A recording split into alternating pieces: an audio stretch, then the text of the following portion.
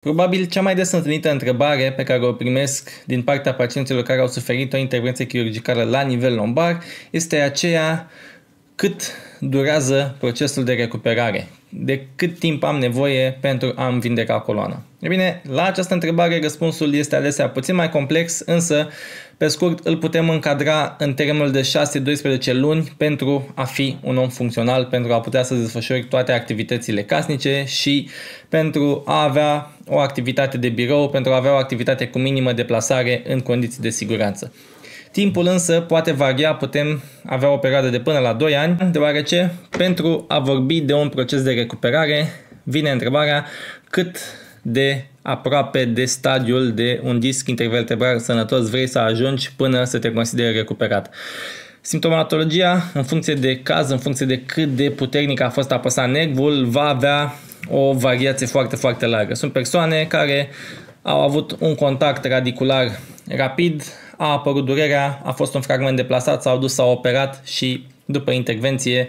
mai ales dacă au sub 40 de ani, nu au fost probleme, procesul a fost unul rapid, unul cursiv, fără dificultăți, fără dureri. Însă, în cazul persoanelor care au avut o recidivă lentă a discului, au avut dureri ani și ani, nervul a avut timp să fie foarte, foarte bine comprimat, e bine, în acest caz, durata este mult mai mare, procesul este mai lent, deoarece trebuie să lăsăm înainte de toate nervul să se refacă. Nu este un proces asupra căruia să putem interveni foarte, foarte mult. Din parte de kineto, pe nerv putem interveni doar să-i dăm stimul adică să-i dăm semnal nervos, să-i dăm impuls pentru a coordona membrele inferioare. Asta înseamnă că mersul este util, că mișcările de bază de gimnastică ne vor ajuta să trecem mai ușor peste acest proces, însă Dincolo de asta, recuperarea are un termen variat de la caz la caz. De obicei, după 3-5 săptămâni de la operație poți să te deplasezi, poți să începi să faci uh, activități casnice, însă pentru a fi cu adevărat recuperat, pentru a vorbi de acel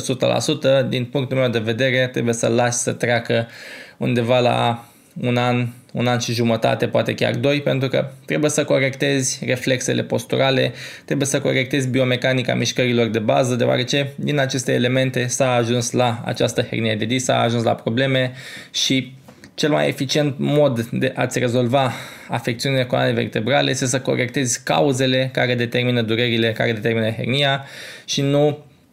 să stai fix pe baza medicului care a efectuat intervenția chirurgicală și nu a făcut altceva decât să-ți mai dea o șansă către o viață sănătoasă și către o coloană vertebrală funcțională. E bine,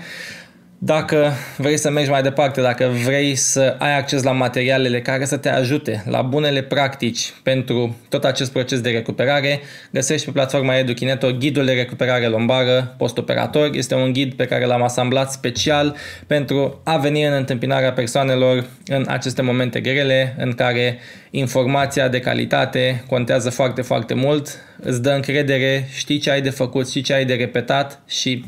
până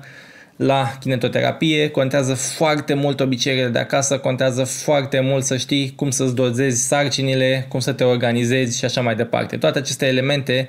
ocupă grosul procesului de recuperare, deoarece de kinetoterapie putem vorbi undeva la maxim o oră pe zi și restul timpului este ocupat de alte activități care în funcție de calitatea lor pot ajuta sau pot afecta pe viitor coloana vertebrală. Asta este tot pentru astăzi, de Dr. Cosmin și îți doresc multă sănătate.